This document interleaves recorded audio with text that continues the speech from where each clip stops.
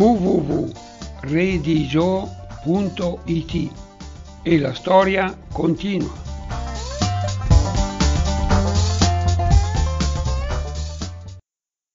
La razza è estinta. Ma dove sono le prove?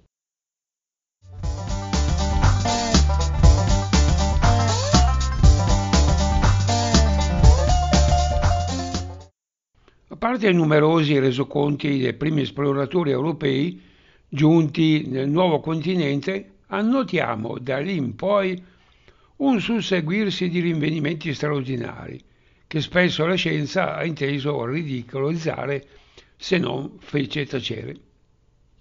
A onor del vero, nel corso degli ultimi cento anni, numerosi sono stati i casi conclamati di truffa da parte di gente senza scrupoli o di semplici burloni, un po' come quel che accade oggi con i cerchi nel grano.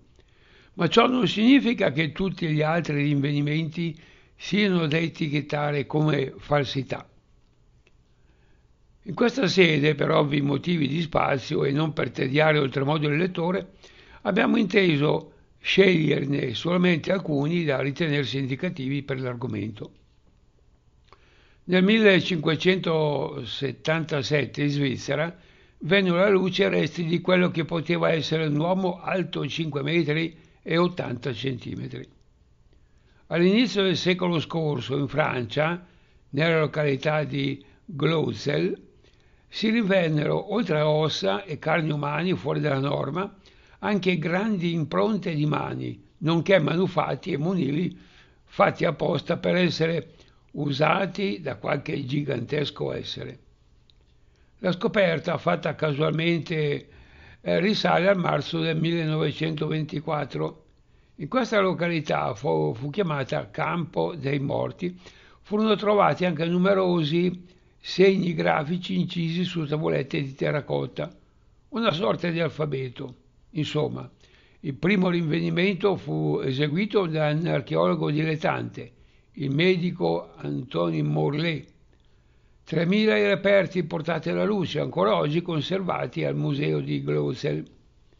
Quanto rinvenuto, nel sito fu sottoposto uh, più volte a, ad analisi negli anni 70 del secolo scorso e col metro della termoluminescenza sulle ceramiche e sui vasi perché hanno subito processo di cottura o del carbonio 14 per le ossa perché contengono sostanze organiche. I risultati furono controversi, ma la teorica del carbonio 14 evidenziò in alcuni casi una datazione fuori da ogni logica. Si parlò infatti di 17.000 anni prima e quindi non accettata dalla comunità scientifica. Infatti ulteriori accertamenti disposti anche dal governo francese, permisero ad altri studiosi di affermare che le ossa rinvenute risultavano introdotte nel sito in epoca posteriore. Negli anni a seguire furono scoperte pure palesi tentativi di contraffazione, tanto da screditare ulteriormente quanto era inizialmente emerso. Oggi nessun archeologo per timore di compromettere la propria reputazione, è disposto a misurarsi con l'enigma di Glosel. Anche in Marocco, ad Agadir, furono ritrovati degli arnesi che teoricamente solo degli uomini con altezza di 4 metri potevano sollevare. Pesavano infatti anche 8 kg l'uno e servivano per cacciare. Qualche anno dopo, nella Hawaii Supai Canyon, gli uomini della spedizione scientifica Don Hay scoprirono un'incisione rupestre tra, di un tirannosauro che a detta degli indiani sarebbe opera di giganti. Nel 1943, un'isola delle Aleutine, dei ingegneri militari trovavano ossa e crani che in proporzione dovevano appartenere a uomini ben alti ben 7 metri. prestando fede ai racconti che narrano di uomini altissimi che avevano abitato in un remoto passato le zone oggi contrassegnate sulle cartine come Sahara, Camerun e Niger, alcune spedizioni fecero scoperte strabilianti. Negli anni 30 del secolo scorso rinvennero effettivamente le tracce dei giganteschi Sao. Questa spedizione, più proficua di quella capeggiata dall'antropologo ed etnologo Marcel Graillol e dei coniugi Leboeuf,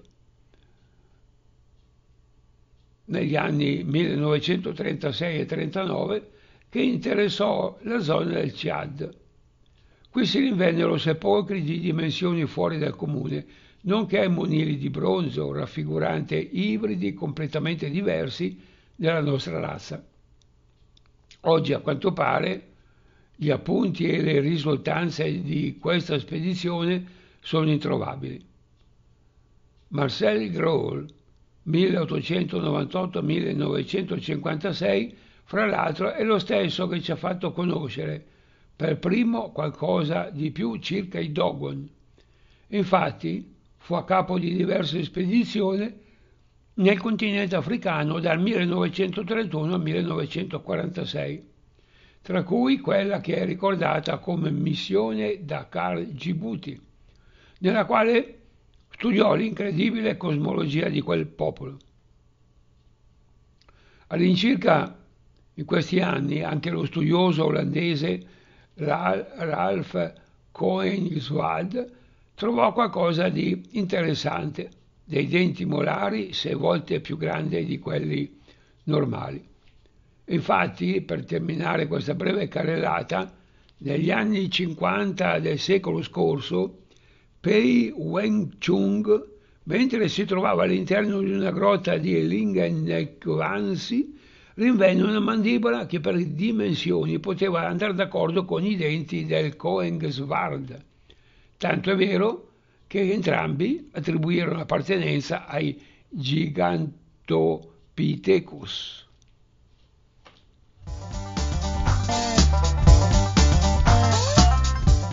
www.redigio.it e la storia continua.